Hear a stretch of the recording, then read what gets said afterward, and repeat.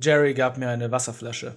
Ich nahm sie und trank das ganze Ding in einem Zug leer und zwang mich aus der Hängematte aufzustehen. Ich muss hier raus. Es gab einen Unfall. Menschen sind gestorben. Cool, sagte er. Aber du solltest wahrscheinlich nirgendwo hingehen, bis O'Brien auftaucht. Ich ignorierte ihn und verließ die Kammer auf meinen eigenen zwei Füßen. Die Schmerzen in meinem Bein waren schlimm, aber erträglich. Und ich würde die Sache lieber durchstehen, als mir die Ersatzkrücken von jemandem zu leihen. Als ich den Ladenraum betrat, stach mir die Kombination aus natürlichem und fluoreszierendem Licht ins Auge und brachte mich zu der Erkenntnis, dass ich absolut keine Ahnung hatte, wie spät es eigentlich war. Ist er das? Ich blickte mich um, um zu sehen, woher diese Stimme gekommen war und sah eine Frau in einer Deputy-Uniform, die mich direkt anstarrte. Sie war groß und attraktiv, hatte dunkle Haut, die Haare in einem Pferdeschwanz zusammengebunden und einen Ausdruck auf dem Gesicht, der sagte, denk nicht mal dran, irgendeine krumme Nummer abzuziehen. Sie hatte sich an den Tresen neben dem Kassierer gelehnt, der die ganze Zeit ein Buch zur Hand hatte. Er blickte zu mir hinüber, dann flüsterte er ihr etwas zu, das ich nicht hören konnte, was dazu führte, dass sie sich gerade hinstellte und ihren rechten Daumen an ihren Gürtel neben ihrem Pistolenhalfter legte. Ich habe diesen Tick schon mal gesehen. Sie war schießwütig und bereit, mich niederzustrecken, wenn die Situation es erfordern würde. Mr. Riggin? fragte sie. Ich stand völlig still, hob meine Hände auf die am wenigsten einschüchternde Art und Weise vor mich und erinnerte mich erst dann daran, dass ich noch frischen roten Nagellack auf meinen Fingernägeln hatte. Officer, sagte ich. Sie brauchte eine Sekunde und versuchte wahrscheinlich herauszufinden, mit welcher Art von Verrücktem sie es zu tun hatte. Um dem zuvorzukommen, versuchte ich die Situation zu erklären. Es gab einen Unfall und ich möchte eine Aussage machen, aber ich wurde angegriffen und brauche medizinische Hilfe. Sie schob ihren Kopf leicht zur Seite und sagte: Sieht für mich aus, als ginge es Ihnen gut. Bullshit tut es das. Ich, ich war im Truck, als er sich überschlug. Welcher Truck? Verarschen Sie mich gerade? Scheiße, das ging zu weit. Jetzt waren die Finger an der Waffe bereit zum Ziehen. Ich musste mich einkriegen. Nach einem langen, absichtlichen, lauten Atemzug sagte ich: Tut mir leid, Officer. Ich bin ein wenig mit den Nerven am Ende, weil ich einen Unfall hatte. Das Fahrzeug, in dem ich war, ist von der Straße abgekommen und hat sich überschlagen. Sie hatten einen Unfall? Ja. Wurde jemand verletzt? Wurde jemand verletzt? Das kam unerwartet. Wie lange war ich schon bewusstlos? Es gab keine Möglichkeit, dass sie das Wrack und die Leichen bis jetzt nicht gefunden hatten. Was bedeutete, dass sie mich entweder verarschen oder testen wollte. Wenn es letzteres wäre, warum? Hat sie versucht, mich zu verwirren, mich dazu zu bringen, meiner eigenen Geschichte zu widersprechen? Da traf es mich. Das hier war ein Verhör. Es gab Leichen, Opfer und jemand musste dafür hängen. Ich wählte meine nächsten Worte sehr sorgfältig. Ja, bei dem Unfall sind drei Menschen gestorben. Ich kam direkt hierher, um die Polizei zu rufen, aber der Blutverlust hat mich daran gehindert. Ich kann sie direkt dorthin bringen, wenn Sie wollen. Sie machte einen Schritt auf mich zu. Nur einen. Sie stellte sich zwischen mich und den Kassierer. Das ist interessant, dachte ich. Wenn ich nicht aufgepasst hätte, hätte ich es vielleicht verpasst, aber ihre Körpersprache übermittelte eine klare Botschaft. Ich war eine Unbekannte, eine potenzielle Bedrohung und ihre Priorität in dieser Situation war der Schutz des Mannes hinter dem Tresen. Was noch interessanter war, war das, was sie nicht tat. In Ordnung, Mr. Riggin. Wir nehmen mein Auto und Sie können mir genau zeigen, wo das alles passiert ist. Klingt das gut? Erst dann bemerkte ich ihren leichten Brooklyn-Akzent. Eines war sicher, sie war nicht von hier. Ich sollte ihr mal hinterher recherchieren, sobald ich wieder mein Handy hatte oder an einem Ort mit Internet war. Ja, okay. Sie gestikulierte zur Tür und ließ mich den Weg weisen. Ihre Hand verließ nie ihre Waffe, bis wir beide draußen waren. Sie hat die Sache nicht gemeldet. Ich hatte ihr gerade mitgeteilt, dass es drei Leichen gab und sie hat keine Funksprüche, Verstärkung, Krankenwegen oder irgendjemanden sonst verständigt. Es gab nur einen offensichtlichen Grund, warum. Sie musste bereits von dem Autounfall gewusst haben. Ich sah ihren Wagen auf dem Parkplatz stehen, der am weitesten von den Türen entfernt war. Rückwärts eingeparkt, ganz so, als stünde er für eine schnelle Flucht bereit.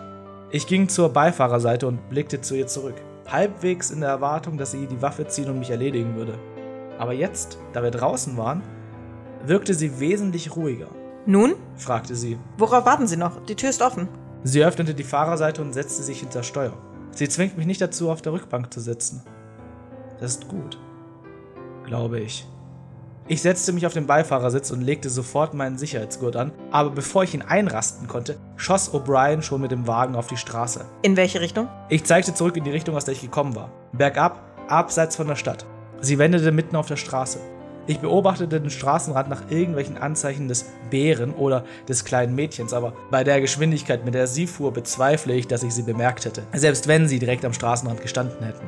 Wir passierten den unbefestigten Weg, der zum Jagdrevier der Familie führte, und ich machte mir eine gedankliche Notiz, später wiederzukommen, um herauszufinden, wo Ned meine Brieftasche und meinen Schlüssel liegen gelassen hatte. Äh, äh, es sollte hier sein, hin hinter der nächsten Kurve. Ich habe das Ereignis in meinem Kopf wiederholt. Etwa einen halben Kilometer geradeaus, dann kommt links ein Feldweg. Paw, der mir den Bauch schlug. Ihr perverses Gelächter. Der Pfeil, der Stich, Schreie. Der Bär. In Ordnung, in, in Ordnung, langsam. Es sollte gleich hier sein. O'Brien verlangsamte das Auto und machte das Blaulicht an. Wir waren genau an der Stelle, an der der Truck von der Straße abgekommen war. Und da war nichts. Wo? fragte sie. Halten Sie den Wagen an. Ich bin aus dem Wagen gesprungen, noch bevor er ganz zum Stehen gekommen war, und ignorierte den Schmerz in meinem Bein so gut ich konnte. Das war nicht möglich. Ich konnte nicht so lange bewusstlos gewesen sein. Sie hätten den Truck schon abtransportiert? Ich lief zur Böschung und stand genau dort, wo ich vor kurzem aus dem komplett demolierten Wrack gezogen worden war, aber da war nichts. Keine Anzeichen eines Wracks, kein Blut, keine Trümmer, keine Spuren im Dreck. Nicht ein einziger Grashalm war umgeknickt. O'Brien stand immer noch neben ihrem Wagen und rief mir zu. Ich glaube nicht, dass es hier draußen war. Vielleicht sollten wir die Straße ein Stückchen weiterfahren. Das sieht für mich alles gleich aus. Nein, ich, ich bin mir sicher, dass es genau hier war. Nun, es ist nicht mehr genau hier. Also wie wäre es, wenn wir sie zurück in die Stadt bringen, damit sie eine Aussage machen können? Ich atmete tief durch und fing ein allzu vertrautes Aroma ein. Eines, das am Straßenrand in der Nähe eines dichten Waldes komplett fehl am Platz war. Bleichmittel.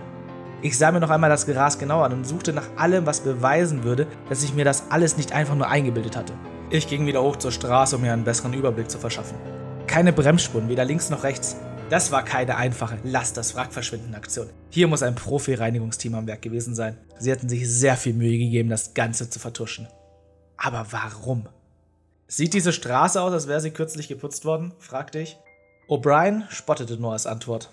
Ich überquerte die gegenüberliegende Straßenseite und kniete mich nieder. Ich bin mir ziemlich sicher, dass da drüben auch kein Wrack ist, Nagellack. Wer immer das war, hatte Ressourcen, von denen ich mir keine Vorstellung machen konnte. Das hier hat eine Menge Geld, Arbeitskraft und Präzision gekostet. Aber selbst die gründlichsten Reinigungsteams machten Fehler, wenn sie unter Zeitdruck standen. Ich griff ins Gras und hob eine winzige Scherbe von zerbrochenem Sicherheitsglas auf. Ein alter silberner Pickup-Truck hielt hinter dem Wagen des Deputy an und ich griff wieder nach dem leeren Platz auf meiner rechten Seite. Wie ein Phantomglied erwartete ich immer wieder meine Pistole zu finden, nur um mich daran zu erinnern, dass ich genauso wehrlos bin wie vorhin, als die Familie darüber stritt, wer mich nun töten würde. Ein Mann stieg aus dem Truck und kam zu uns rüber, ein großes freundliches Lächeln auf den Lippen. Er war Ende 50 mit einem schmutzigen weißen Bart und einer Tarnweste. Ein in die Hose gestopftes weißes T-Shirt offenbarte den über den Rand der Jeans quellenden Bauch. Moin, sagte er zu mir und ignorierte O'Brien. Warte, war es noch morgen? Ich hatte seit meinem Aufwachen keine Uhr mehr gesehen, aber es kann nicht sein, dass all das nur in wenigen Stunden gereinigt werden konnte. Hey, sagte ich zurück. Er lachte und erwiderte, du siehst beschissen aus. Was ist passiert? ich habe mich beim Rasieren geschnitten. Schließlich bestätigte er, dass O'Brien hier war, mit einem kurzen Blick zu ihr, bevor er zu mir zurückblickte. Sucht ihr was? Bevor ich antworten konnte, fing sein Handy an zu klingeln und er hob einen Finger in die Luft und holte es aus der Tasche, Ja? sagte er. Sein Blick zeigte nun leichte Verwirrung, bevor er das Handy vom Ohr nahm und sich umsah. Dann das Telefon anschaute, dann O'Brien und dann wieder mich. Dann fragte er, Ist einer von euch Eric Regan? ich sah O'Brien an, die den Kopf schüttelte und leise lachte. Mich müssen sie nicht angucken. Äh, ich bin Eric. Es ist, ähm, für dich. Ich steckte den Glassplitter in meine Tasche und ging zu dem Mann, der mir sein Telefon hinhielt. Diese ganze Situation überstieg die Kapazität meines Gehirns. Ich hatte keine Ahnung mehr, was hier eigentlich los war, wem ich vertrauen konnte und was überhaupt noch real war. Da bemerkte ich zum ersten Mal, dass sich meine Zunge besonders geschwollen anfühlte und ein warmes Gefühl mich durchströmte. Es hätte natürlich nur ein Nebeneffekt des Blutverlusts sein können, aber irgendwie fühlte sich das Ganze anders an. Ich entschloss mich dazu, dieses Gefühl zunächst einmal zu ignorieren und griff nach dem Handy. Hier spricht Eric. Endlich! Wo zum Teufel hast du den ganzen Tag gesteckt? Das war keine der Stimmen, die ich erwartet hatte, am anderen Ende der Leitung zu hören. Roger? Wen hast du erwartet? Den Weihnachtsmann? Wie hast du mich gefunden? Ich weiß solche Sachen, Detective. Es ist Zeit, mir ein wenig zu vertrauen, okay? ich weiß, dass deine Untersuchung heute Morgen ein wenig entgleist ist, was? Jemand verarscht dich, was ein gutes Zeichen ist. Sie versuchen, dich von der Fährte abzulenken, weil du Fragen stellst. Und sie sind es nicht gewohnt, dass Leute in dieser Stadt Fragen stellen. Du bist in ihr Hornissennest getreten und jetzt sind sie sauer. Ich lehnte mich von O'Brien weg und flüsterte diesen nächsten Teil ins Telefon. Roger, ich wurde angegriffen. Menschen sind tot. Wirklich? Er klang nicht allzu überrascht. Nun, wir werden uns später Fall darüber unterhalten müssen. Fürs Erste habe ich jedoch etwas in Vanessas Akte gefunden, das wir besprechen sollten. Du hast eine Waffe, oder? Ja, irgendwo. Lass sie verschwinden. Versenke sie im Meer, wenn es sein muss. Ich garantiere dir, dass die Ballistiker bestimmt schon deine Waffe in Verbindung zu ein oder zwei der offenen Mordfälle gesetzt haben. Sag mir nur eine Sache. Was zum Teufel ist hier los? Werd den Bullen los. Ich weiß noch nicht, wem ich vertrauen kann. Und triff mich heute Abend um 8 auf der Bowlingbahn. Komm allein. Pass auf, denn wahrscheinlich wirst du Verfolger abschütteln müssen. Und Detective? Ja, Geh duschen. dann legte er auf. Ich sah O'Brien an, die sich gegen den Kofferraum ihres Autos lehnte, die Arme verschränkt hatte und mich beobachtete. Wer war dran? fragte sie. Ich reichte dem Mann das Telefon zurück und zuckte mit den Achseln. Sieht so aus, als hätte ich einen großen Fehler gemacht, Aha. fragte sie ungläubig. Ja, antwortete ich. Sie fuhr mich zurück zur Tankstelle, während ich mir eine Geschichte über einen schweren Fall von Schlafwandeln zusammenspinnte. Ich habe ihr versichert, dass das Ganze ein Figment meiner Einbildung gewesen sein muss. Dass ich in diesem unbewussten Zustand in den Wald gegangen sein muss, mich dabei ziemlich schlimm zerkratzt habe und komplett verwirrt und fertig war, als ich es wieder herausgeschafft hatte. Entweder nahm sie mir meine Geschichte ab oder sie hatte ihre eigenen Gründe, sie zu akzeptieren. Sie machte auf mich nicht den Eindruck einer Idiotin, also nehme ich an, dass es wohl letzteres gewesen sein muss. Wie auch immer, es war wohl besser, die Sache nicht weiter zu vertiefen. Sie brachte mich zu meinem Auto und warnte mich gerade heraus, bevor sie weiterfuhr.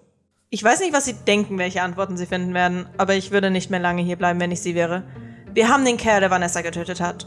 Und glauben Sie mir, mit etwas abzuschließen ist im Allgemeinen überbewertet.